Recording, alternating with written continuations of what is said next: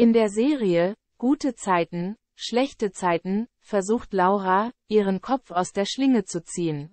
Vier Monate nachdem Laura, Crescenzi Kawasi, ihre Reise nach Griechenland antrat, kommt die Krimi-Geschichte um ihr Verschwinden und ihre Rückkehr nach Berlin in der Serie, Gute Zeiten, schlechte Zeiten, bald zu einem Abschluss.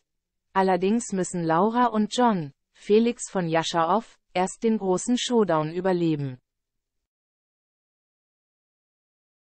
Denn Zoe, Lara Dandelion Seibert, ist aus Paris zurück und sind auf Rache. Wie ihr am kommenden Mittwoch 30. August um 19.40 Uhr auf RTL sehen könnt Sternchen, entführt Zoe Laura, um herauszufinden, wo sie die 10 Millionen Euro versteckt hat, oder das, was noch davon übrig ist. Um ihren Kopf aus der Schlinge zu ziehen, macht Laura Zoe in Angebot. GZSZ, Zoe hat Laura in ihrer Gewalt ja.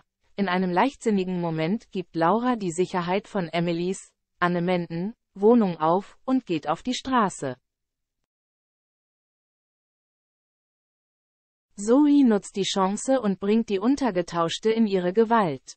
Auf der nun folgenden Autofahrt versucht Laura, die ausweglose Situation zu ihren Gunsten zu wenden.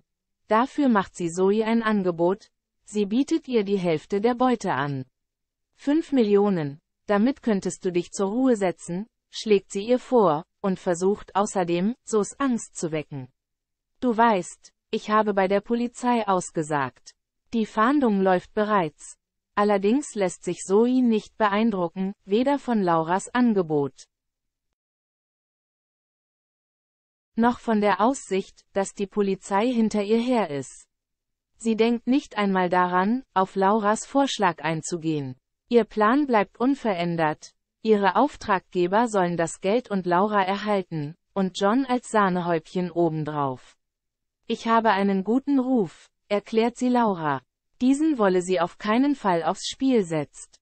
Und so kommt, was kommen muss. Am Telefon zwingt Zoe John, die 10 Millionen Euro aus dem Bankschließfach zu holen, während Laura gefesselt und geknebelt auf der Rückbank ihres Autos liegt.